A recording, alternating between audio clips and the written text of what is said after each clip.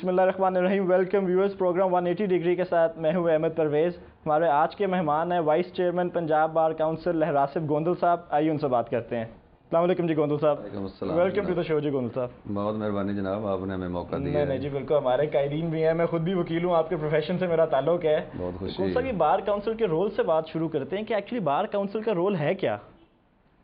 Basically bar council जो है, ये एक स्टेचूटरी बॉडी है, जो कि लीगल प्रैक्टिशनर और बार काउंसिल एक्ट के तहत जो है, इसकी फॉर्मेशन हुई है। और हमारी सुप्रीम बॉडी है पाकिस्तान बार काउंसिल उसके बाद प्रोविंशियल बार काउंसिल हैं, जिसमें पंजाब बार काउंसिल भी आती है। ये पाकिस्तान की सबसे बड़ी प्रोविंशियल बार काउंसिल है जिसके 72,000 लायर्स को ये रिप्रेजेंट करती है। बार एसोसिएशन और आप में फ़र्क क्या है? बार एसोसिएशन जो होती हैं ये वो हमारी अपनी क्रिएशन है छोटी बॉडी जिनमें Lahore high court bar association है डिस्ट्रिक्ट बार है सब डिवीजनल बार हैं। जो छोटी बार हैं जो एसोसिएशन हैं जो काम करती हैं under the control of the bar councils वो बेसिकली रिप्रेजेंट करती हैं अपने लोकल लायर्स को। बार काउंसिल जो है, ये लायर्स के जो मामला होते हैं, उनको कंडक्ट करती है। जितनी बार काउंसिल हैं, जिस तरह की एक सेक्रेटेरिएट का काम करती है मसला उनको लाइसेंस जारी करने वकला को, उनको, उनका कंडक्ट जो है, उसके बारे में हमारी मिस कंडक्ट कमेटी है, वो है उनकी वेलफेयर के लिए, जिस तरह एक सेक्रेटेरिएट में हम आवाम के लिए, खदमात के लिए लोग बैठे हैं। इस तरह ये काउंसिल है। ये इसमें 75 मेंबर्स हैं पूरे पंजाब से। जो कि तमाम पंजाब ही इनको इलेक्ट करते ही। इलेक्ट करके उनको यहाँ पे लाते हैं। और ये एक इदारा है सुपरवाइजरी बॉडी है जो कि रिकगनाइज और डी रिकगनाइज करती है बार एसोसिएशंस को। तो इसलिए वो जो हैं वो हमारे बेसिकली वो नुमाइंदे होते हैं जो हमें फीडबैक देते हैं और वकला की जो असल नुमाइंदगी है वो बार एसोसिएशन ने करनी है। हम जो हैं उनके इलेक्शन करवाने उनको देखना उनके मामला को चेक करना या उनकी शिकायत या उनके ख़िलाफ़ शिकायत इसको रन करने के लिए और वकला की वेलफेयर के लिए ये बार काउंसिल जो है ये आप तो इसके वाइस चेयरमैन हो गए इसका चेयरमैन कौन है? जी चेयरमैन होता है हमारा honorary advocate general Punjab vice chairman he acts as a chairman of the bar council तमाम जितने भी मामला होते हैं नाम वाइस चेयरमैन का आता है लेकिन एक्ट जो है वो एज ए चेयरमैन का इदारे का एक ही हेड होता है जो कि वाइस चेयरमैन होता है। जी आपका टेन्योर कितना होता है जो अभी वाइस चेयरमैन जो इलेक्ट होते हैं? जी वाइस चेयरमैन एक साल के लिए होता है मेंबर पंजाब बार काउंसिल पाँच साल के लिए होते हैं। तो अच्छा आपने कहा कि जी वकला की इनरोलमेंट के जिम्मेदार भी आप लोग ही हैं। अब हर प्रोविंस में एक अलहदा bar council provincial bar council हैं। एंड वो हम देखते ही हैं कि इनरोलमेंट की डिफरेंट क्राइटेरिया है इन ऑल द प्रोविंसेस के। कई प्रोविंसेस में वो अगर आप कोई फ़ॉरन डिग्री लेके आए तो डायरेक्ट इनरोलमेंट दे देते हैं। यहाँ पे बीच में बंद कर दी थी शायद फिर देनी शुरू कर दी। तो एक यूनिफॉर्म रूल्स नहीं होने चाहिए। नहीं इसमें यूनिफॉर्म ही है। ये हमारा इसमें रूल्स रेगुलेशन में मौजूद है। क्योंकि हुआ ये था कि देखने में आया था कि लोग कोई जाके बलोचिस्तान अपने आप को रजिस्टर करवा के यहाँ पे प्रैक्टिस कर रहे थे। कोई ऐसी लिमिटेशन तो नहीं है कि जिस प्रोविंस में आप रजिस्टर्ड हैं आप खाली उधर ही प्रैक्टिस कर सकते हैं। नहीं इसमें ये होता है कि आप जहाँ से मर्ज़ी है डिग्री ले लें जिस बार में भी आपने मेम्बरशिप लेनी है उसके बाद आप उसको दोबारा एन ओ सी ले के आप अपनी मेम्बरशिप को ट्रांसफ़र कर सकते हैं। जो डायरेक्ट इंडक्शन है उसमें जितने भी हमारे एल एल एम करने वाले लोग हैं बार एटला जिन्होंने किया हुआ है उसको उनको हम डायरेक्टली देते हैं मेंबरशिप लोअर कोर्ट की उसको देने की? आपके आपके ख्याल में कोई एक ये डिस्क्रिमिनेशन नहीं है? नहीं इसलिए कि वहाँ की जो डिग्रीज है जो एलएलएम करके आते हैं उनका कोर्स जो है वो हमारे कोर्स से ज़्यादा लंबा होता है। अगर हम यहाँ से करके भी जाएँ फिर भी वहाँ पे वो दोबारा एलएलएम वाले जो हैं वो कोर्स एक सेपरेट जो है वो उनको पढ़ाते हैं जो कि हमारी ट्रेनिंग छः महीने की है। तो वो हम उनको एग्ज़ाम कर देते हैं कि जो ट्रेनिंग पीरियड है उसको दूसरा अगर उनको डायरेक्टली हम हाई कोर्ट में लाइसेंस देते हैं वो भी हमारे हाई कोर्ट के जो जज साहब होते हैं जो एनरोलमेंट कमेटी के चेयरमैन होते हैं उनके पास केस भेजते हैं वो उनकी वैलिडिटी चेक करते हैं। और अगर वो रिकगनाइज यूनिवर्सिटी से उन्होंने एलएलएम किया है या बार अटला किया है तो उसको वो दो साल period for the licence of high court वो एग्ज़ाम कर देते हैं। इसलिए कि उनका जो एजुकेशनल सिस्टम है। लेकिन हम अपने सिस्टम को खुद अंडरमाइन नहीं कर रहे इस तरह करके। सर ये है कि हमारी जो अपनी डिग्रीज़ हैं हम पूरे जितने भी लोग हमारे यहाँ से फॉरेन कंट्रीज़ में जाते हैं वो अपने कोर्स में से ज़रूर उनको गुजरना पड़ता है। हम अगर एल एल एम करके भी जाएँगे तो फिर भी वहाँ पे आपको लास्ट स्टडी की अगर लंदन में लेनी पड़ेगी तो वो उनका एक क्वालिटेटिव टेस्ट होता है वो पास करना होता है उसके बाद जाके वो सलिस्टर की प्रैक्टिस के लिए अलाउ करते हैं। चलें जो हमारे लोकल ग्रेजुएट्स जो हैं हाँ क्या ये जो भी डिग्री कर ले उसको लाइसेंस मिल जाता है? उसका एनरोलमेंट का प्रोसीजर क्या है आपका? जो लोकल हमारे हैं उनके लिए जो यूनिवर्सिटीज़ जो रिकगनाइज्ड हैं जो हायर एजुकेशन कमीशन की तरफ़ से उनको हम लाइसेंस दे देते हैं। लेकिन जो रिकगनाइज नहीं है सीधे बात दे देते हैं? एलएलबी के बाद ये होता है कि बंदे ने जब थर्ड अपीयरेंस उनकी थर्ड सेमेस्टर में या थर्ड ईयर में जब वो अपीयर हो जाते हैं किसी आखिरी एग्ज़ाम में तो फिर वो इंटीमेशन भेजते हैं थ्रू सीनियर जिसकी कम अज़ कम जो प्रैक्टिस है वो टेन ईयर होनी चाहिए। उसके बाद मीन वाइल हम उनका एंटी टेस्ट भी लेते हैं। ये हमने फैसिलिटेट किया उनको छः महीने उनके बचाने के लिए। ट्रेनिंग पीरियड भी हो जाए। की जो बात है ट्रेनिंग क्या आपका ख्याल में वकील प्रैक्टिकली वो ट्रेनिंग करते हैं? जी हम प्रिज्यूम करते हैं कि वो प्रैक्टिकली ट्रेनिंग करते नहीं हैं। बट लेकिन ये तो आपको मॉनिटर नहीं करनी चाहिए प्रिजम्पशन तो आप तो बड़ा एक ये ये इसमें ये होता है कि हम उनके जो सीनियर हैं हमने उनको रखा है कि दस साल उसकी स्टैंडिंग कम से कम हो सीनियर क्योंकि वो देखने में ये आता है कि लोग एक लेटर लेके आपकी फ़ाइल पे लगवा देते हैं एक्चुअल ट्रेनिंग किसी ने की होती नहीं है।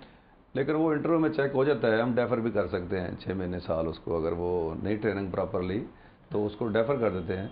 कि दोबारा अगर वो इंटरव्यू पास करेगा तो हम उसको लाइसेंस देंगे। फिर एंटी टेस्ट में हम उनको फेल करते हैं। नहीं एंट्री टेस्ट में कितने लोग गोंदू साहब फेल होते हैं? नहीं मेजॉरिटी देखिए इसमें यह है कि हमारा जो टेस्ट है वो तकरीबन सिलेबस रिलेटेड होता है सारा जिसमें भी हमने बुकलेट बनाई हुई है। वो बुकलेट जो है वो प्रॉपर है अगर उसको पढ़ लें जो वकील एक दफ़ा गो थ्रू भी हो जाए अगर उसने डिग्री ले ली है तो बड़े कम चांस हैं कि उसमें उसके फेल होने के। वो कहते हैं कि कहते हैं हम लोग कहते हैं फेल करना ही नहीं आप चाहते शायद आप भी यही कहने लगे थे। कि वो आप कहते हैं कि जी पोटेंशियल वोटर्स हैं आप लोगों के ये लोग। इनसे कल को आपने वोट लेने हैं तो इनको आप फेल करते ही नहीं हैं। इसमें कोई शक नहीं कि पोटेंशियल वोटर हैं लेकिन अगर फेल हो तो हम उसको पास नहीं करते। इसमें कोई शक नहीं। आप बता सकते कितने परसेंट लोग फेल होते होंगे?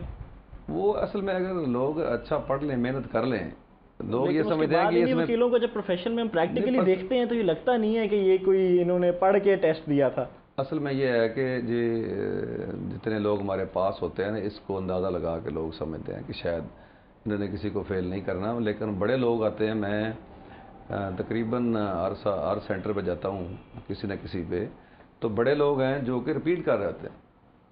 और उनको हमने मौके पे भी, उनको पकड़ा भी है और बाज़ को हमने, डेफर भी किया है वहाँ से उठा के। कि जिन्होंने कहते हैं जी, हम आ गए जी, हमने ट्रेनिंग नहीं ली, लेकिन हम अगले साल, अगले महीने, असल तीन महीने के बाद दोबारा हमारा एंटी टेस्ट आ जाता है। तो विद इन उनके जो पीरियड है ट्रेनिंग पीरियड उसमें दो एग्ज़ाम आ जाते हैं। इसलिए उनको इतना मसला नहीं होता कि एक में फेल हो गए तो अगले में पास हो जाएँगे तो लसनस उनको बार वक्त मिल जाता है। अच्छा भी देखें एडवोकेसी भी एक वकील का बड़ा इंटेग्रल हिस्सा होता है। एक नॉलेज तो एक जगह हो गई अपनी रिटर्न नॉलेज हो गई टेस्ट हो गया इंटीमेशन हो गई। बट एडवोकेसी को आप चेक नहीं करते उनकी। कोई इस किस्म के भी टेस्ट में आपके ख्याल में डालने की ज़रूरत है हमें?